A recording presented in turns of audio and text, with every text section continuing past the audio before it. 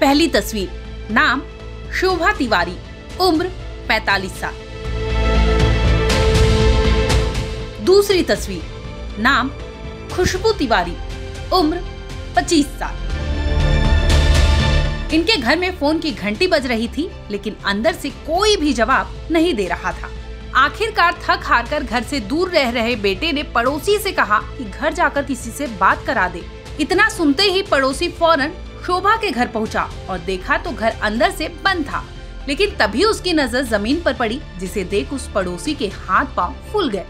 बदहवास पड़ोसी चंद सेकंड में चीखने चिल्लाने लगा, जिससे वहाँ पर भीड़ जुट गई।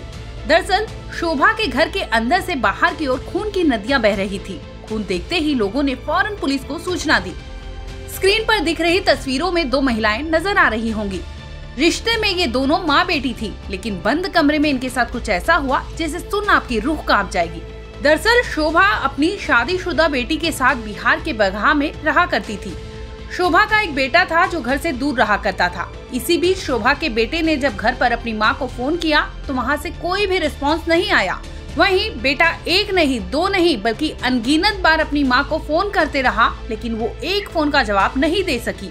फिर तो लड़के ने माँ के पड़ोसी से फ़ोन पर बात की और मामले का खुलासा हो गया। दो दो मर्डर का मामला सामने आ रहा है। संभावित लग रहा है अभी पहचान नहीं हो पाई है लेकिन लोगों के द्वारा जो बताया गया उसके आधार पर और देख के यही लग रहा है कि दो मर्डर की संभावना है यहाँ अभी एफ़ की टीम और अन्य जो आएँगे तो वो लोग आके और छानबीन करेंगे। क्या लगता है सर देखने में कुछ? तेजाब वजाब फेंक कर जलाने का मामला सामने आ रहा है।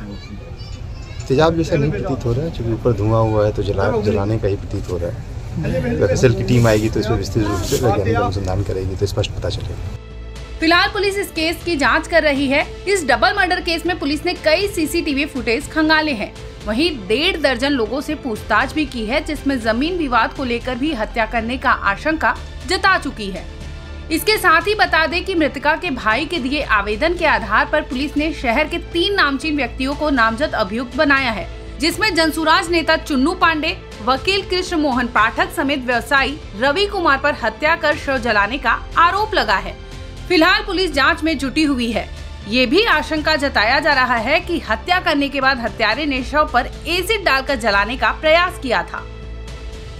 ब्यूरो रिपोर्ट, क्राइम तक।